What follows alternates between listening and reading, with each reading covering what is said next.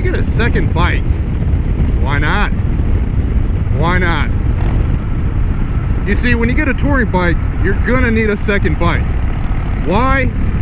Man, you go on city rides with your homies, take little trips here and there. It's just nice to have a little, a little uh, city bike you can ride around. You know what I'm saying? Something like, something you can, you know, lane split if you need to, kind of zip around, stop and go traffic. It's a little annoying to take a, uh, a touring bike. There you go. It's annoying to take a touring bike through stop and go traffic, so that is the purpose of the lowrider. I believe I have 10 or 12 inch bars on this thing. I gotta double check. I'll put it up on the, uh, the screen for you, for anybody that's uh, interested. And uh, I did all this work on my own, you guys. I got this bike completely stock. It had a thousand miles on it. Foot controls were uh, mid controls, and I was just way too big for that.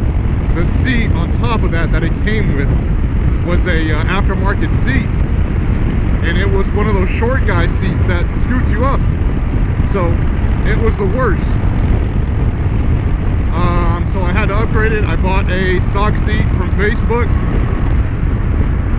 I got forward controls. I'll put the forward controls on it. I got the in the bar.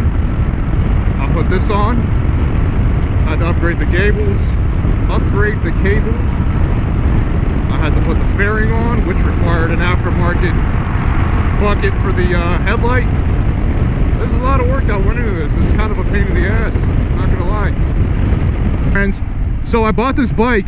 Check this out, you guys. I love telling dealer stories, all right? I love talking about dealers and just business. And it's cool because you talk about money and how these people make money and how you can save money.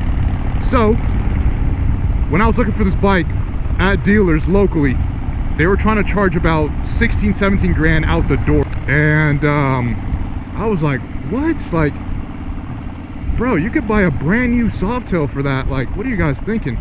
Um, their excuse was, it's a Dyna, it's a limited, you know, item. It's not being sold anymore. And I was like, all right, bro, get out of here. They were selling Dynas, Dyna lowriders, with like a basic stage one on them for 17, 16, 17 grand. so I bought this bike by going on Cycle Trader and uh, and basically just searching my bike up, seeing what I wanted. And I saw a dealer was selling it in a different state for like out the door it was like 13 grand, which is, you know, it's not amazing, but it's not bad. Especially for a bike that has a thousand miles on it, you guys. And um, and I was desperate. I was like, man, I really want this bike. I've been looking for a while, and I was just, I was ready to pull the trigger. So I went ahead and did it. So I, I paid for it, got it delivered, blah blah blah. I Did all the upgrades, and um, I reached out to that same dealer locally. I was like, hey, you guys want to buy a bike off of me? It's a lowrider. You guys want to pay 17 grand for it? They didn't say crap to me. They didn't respond. Obviously, they didn't. They weren't going for it. You know, the funniest thing about it is, I think it was this morning or yesterday, I had another dealer reach out to me because I put my bike back up on Facebook Marketplace just to see if I can make a, a quick, you know, few grand or whatever. I put it up for about 16, 17 because that's what the dealer had it for. You know, I'm, I'm, I'm like, I'm getting a bit ahead of myself. I know. Trying to sell my bike at at dealer prices as a private seller. I know. I uh, I put it up and I got a message from a dealer. It was another dealer. They're like, hey, nice bike, you know, I could offer you $10,000 for this bike. That's the retail price. We see you have it, you know, priced at a, you know, we see that you have it overpriced. We're gonna offer you 10 grand for it. And they're being nice about it, you know, the dude, the dude's being nice about it. Um, obviously, because he's trying to buy my bike off me and rip me off and make a huge amount of money off of me. And I told him, I was like, bro, my, my bike is not overpriced. I was looking for the same exact bike, you know, and I saw every dealer nearby was selling it for 16, 17 grand. My bike has upgrades. My bike has, you know, the upgraded handlebars, a lot of aftermarket work done to it, and it's only got a thousand miles on it. Those bikes I was seeing those dealers sell were either stock or they just had basic upgrades like just the handlebars or whatever. Um, and they had a crap ton of miles on them. I was, I'm, it was like 15,000, 17,000 miles, right? This is pretty much a brand new bike, you guys. So, you know, I was basically playing, playing his own game with them. You know what I mean? I was like, oh, my bike is overpriced. So he's like, man, those dealers near you, they they just they must just be overpriced, you know? If you ever want to do business, reach out to me. He's somewhere else in Texas. He's not he's not in Austin where I'm at. I don't know where this dealership is exactly located or if I'm going to put him on blast, but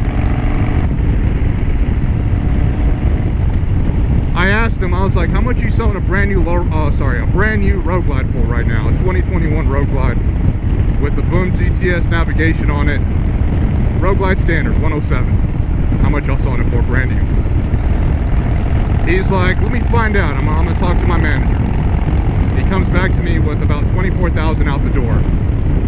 I was like, bro, get out of here, man. You guys, you guys are also overpriced. Don't try to act like you guys are giving out like sick deals. To remind you, I bought my Road Glide for um, about 20 grand, you guys. So yeah, lessons learned. Don't only look at your local dealer. Get online, look on Facebook, Facebook Marketplace, Craigslist, Cycle Trader. Don't be afraid, you know, to ask for extra pictures. I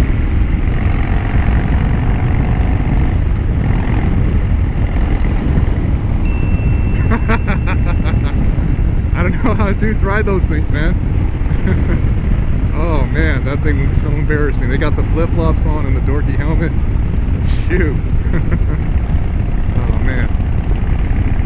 You know what though, surprisingly, there's some dudes who get like some hot chicks on the back of those those things, man. These little hipsters, man, they get chicks. I don't know what they do. These little Bernie Sanders supporters, man, I don't know what they're doing. Some of these dudes got the sauce.